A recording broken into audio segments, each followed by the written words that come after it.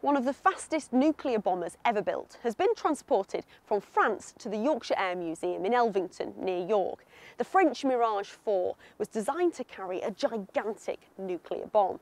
And with rising tensions between North Korea and the US, it's a timely reminder of a threat many thought had been consigned to the history books. Lucy Hester reports. The Mirage 4 in flight, a supersonic aircraft capable of 1800 miles an hour. But its beauty belied its deadly purpose. It was built to drop a nuclear bomb 40 times more powerful than the one that destroyed Hiroshima. It's highly advanced, it's beautiful looking, and it's superb performance, but it is a, a bringer of death and destruction, it, the ultimate threat.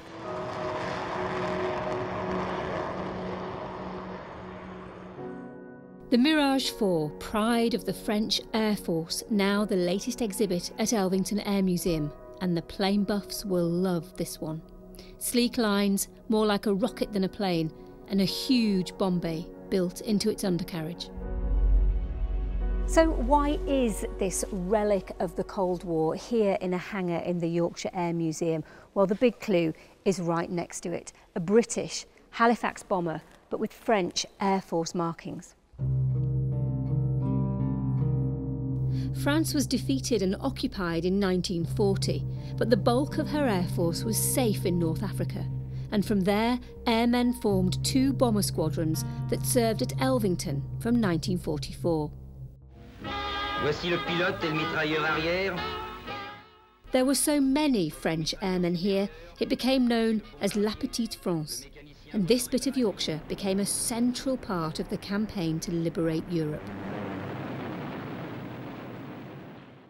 This memorial garden in Elvington commemorates over 2,000 airmen who served with two all-French squadrons and they paid a heavy price for their bombing raids against their own country.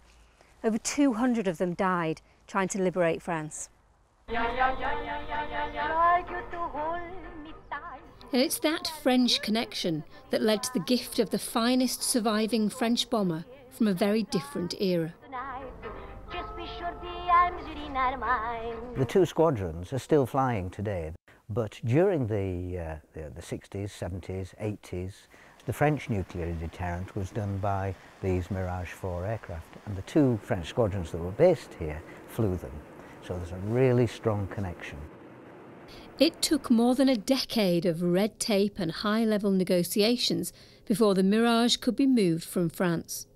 Any transfer of a major nuclear defence uh, aircraft to another country, let alone a, a museum third party uh, in another country, obviously has to be taken at the, the highest levels of government. But with the final hurdles cleared earlier this year on the outskirts of Paris, a team began the painstaking task of taking the aircraft apart and loading it on board a huge lorry. But it's as long as a swimming pool, and with a 12 metre wingspan, this was never going to be easy. After a whole day spent loading, the giant consignment was finally on its way to Yorkshire in a convoy of two lorries and two vans. I've made the reverse journey to the one that brought the Mirage to Yorkshire. It was just a few miles from here in Paris that the aircraft was once displayed at the city's Science Museum.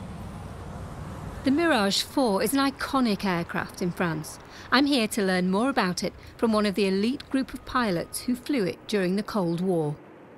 The Mirage 4 was the most beautiful aircraft that they built from the beginning.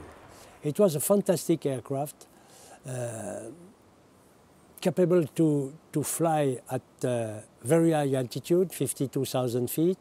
It was a bomber, but in dogfight, some fighter pilots were very surprised. The only problem that we had, the visibility due to the nuclear flash is very, uh, very small.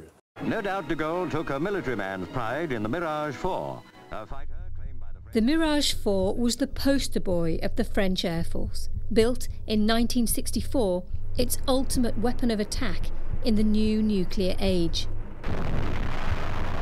The Cold War began with the final collapse of Germany's Third Reich at the end of World War II.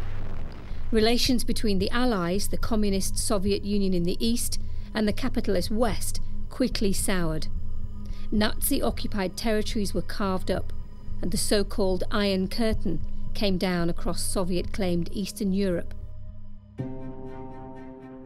The Cold War was fuelled by an arms race of nuclear weapons capable of previously unimaginable destruction. Against this backdrop, Pierre Alain Antoine got his pilot's wings back in 1970. He would one day fly a Mirage 4, armed with a 60 kiloton nuclear warhead, facing the Soviet Union. That warhead was a freefall bomb and had to be dropped directly over its target. You arrive at uh, 600 knots, 200 feet, you climb at 4.5 G, when the bomb is dropped, you have to descend very quickly by an upside down maneuver at uh, minus 20 degrees at night in the clouds, etc., etc., to avoid the nuclear flash. It was a very difficult maneuver. It was a close knit team of pilots who flew the Mirage. They shared the knowledge that should they undertake the mission they were trained for, thousands of people would die in an action that would probably be the pilot's last. The Mirage carried only enough fuel for the outward journey. It's not the question for a military. We were trained to launch the bombs. And it was absolutely not in, your, in our mind to say yes or not. No. We were following orders, and if it's not the case, change your job. It took four days of convoy travel for the aeroplane to reach its new home. When it arrived here in Elvington to join the collection, the prized Mirage was in bits, like a giant Airfix model. And it was then that the work to put it together had to begin. It took two weeks of hard work from specialist French engineers before the Mirage was complete. It's now the only one in existence outside of France. People understood that this was the place for it to come. It's been a great project and uh, uh, you only have to look at it and realise it was worth every minute really. An increasing proportion of the museum's collection now comes from the Cold War era and the Mirage joins planes like the Victor nuclear bomber, its British equivalent. The front line of the French nuclear deterrent, the Mirage was designed to keep France as a global power, and after the bloodshed of the Second World War, able to resist ever being invaded again. Pierre Alain believes it played a huge part in post war peace. Absolutely, for sure, at 100%. Because never, never a president uh, took the possibility to push the button first. But now with uh, North Korea, I am not sure. And it's a real danger for us. It was once cutting edge military technology. Now it's a museum piece. But the Mirage was designed to counter the threat of nuclear war. And today, decades on, that threat remains ever present.